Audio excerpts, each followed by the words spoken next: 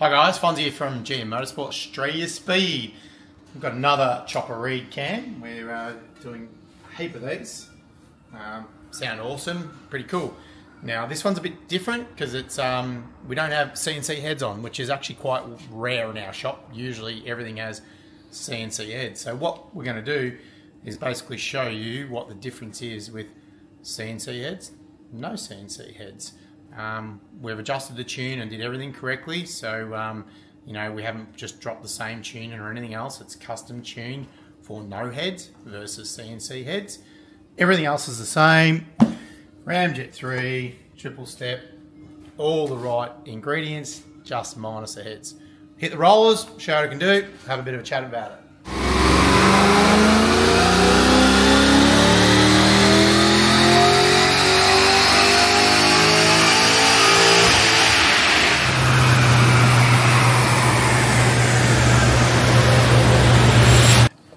Okay, uh, good result. Um, as I said, that's with no CNC heads. Um, 6826 will show you the data for all the internet warriors. We've got the AFR or Lambda. It's dropped out, so don't stress, don't message me. Um, we'll show you another run it's done. Everything is perfectly fine. So sometimes this happens, uh, especially at the back of the car.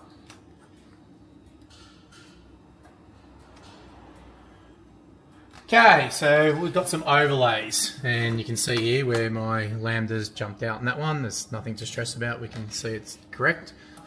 So both AFRs or lambda is working in this one, so I chose to do that. So what you can see, there's a, there's a pretty big difference.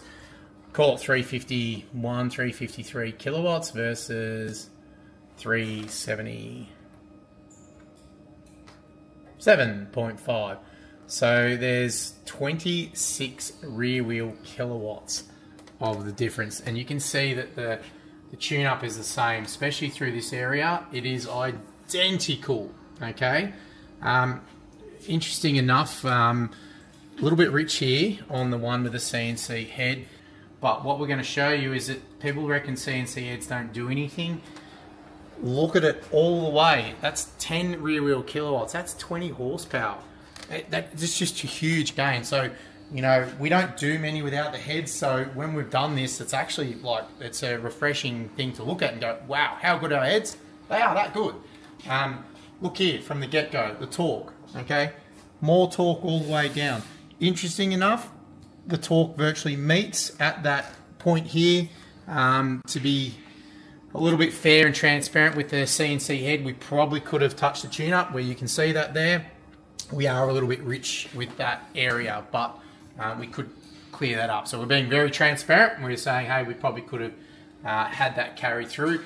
But at some stage, you might see them cross over with the velocity and what actually works and doesn't work. That's why flow bench is great, but the dyno or the engine dyno overall is the result that you want to see to be done. So it carries it all the way through, and you can see how good this is. It's married up as well, like 6690 1 versus 98. So you can't say we've got discrepancies in our test. Oh, it's not the same car, it's not this. We're within a couple of RPM. Um, they are the same model car, they are the same manual, they are the same diff ratio. Um, there are so many things that are similar to validate this test. And as I said, we've matched up the RPM and everything else. So you matched up Lambda 8686, RPM matched up but we have got some 25 rear wheel kilowatts uh, difference. You know, honestly, that's probably 40 horsepower uh, difference as well. So, guys, if you're on the fence about CNC heads, honestly, it's worth getting. We do a lot of these. We even do private label stuff. Um, I won't show you on the bottom of this one, but it says heads by GM here.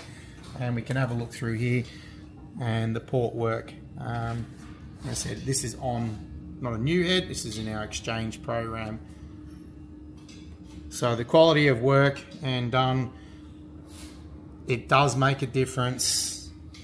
You get results. It's honestly worth it. And as I said, um, you know, we're excited by sometimes just, you know, reconfirming and validating how good our stuff is. So if you want the recipe and you want it done right, um, you know, people ask, oh, the heads are already big enough on a LS3.